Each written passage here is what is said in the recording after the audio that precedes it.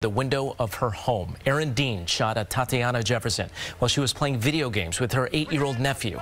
This happened back in October of 2019 after a neighbor called police saying they were concerned about an open front door. Dean now facing two to 20 years in prison. Right now, police are searching for the man suspected in shootings uh, that happened in the Bronx and Philadelphia. Termaine Salisbury is accused of shooting a Sunoco gas station employee in the Bronx on November 22nd. Five days later, police say Salisbury shot a Philadelphia parking authority officer.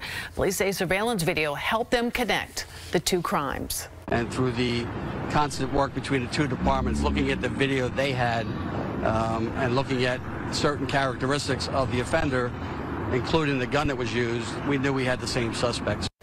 Both shooting victims are expected to survive. Investigators say Salisbury is armed and dangerous and likely in the Philadelphia area. A U.S. citizen has been freed after being held captive for several months in a